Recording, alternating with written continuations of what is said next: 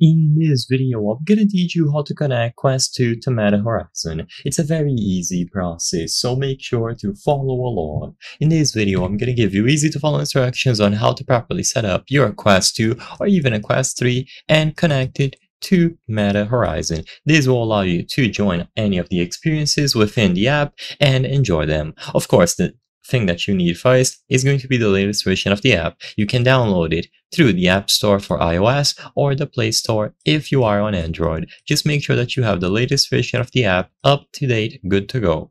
Then open the app. Immediately upon opening it, you will need to sign in with a valid account. So you will be able to create a Meta or an Oculus ac account and profile. So you create the account, you set up your profile, and afterwards you will be able to set up your headset.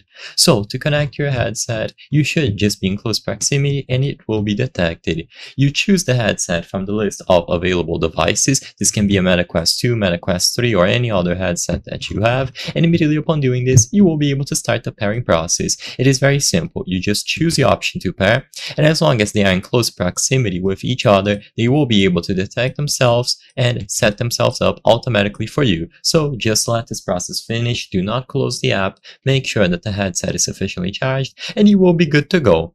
Once they are connected, the status of the headset will appear on the app. You will see if it is connected or not. You will see the battery levels, including the controllers, and you will be able to use it to join any world experience and so on. Everything can be done and managed through the latest version of the app. If this doesn't work, ensure that both devices are on the same network and that you are in close proximity. Make sure there is no interference around the room and you will be able to set them up together. I hope I was able to help you on how to connect Quest 2 to Meta Horizon. If this video helped you, please be sure to leave a like and subscribe for more very easy tips. Thank you for watching.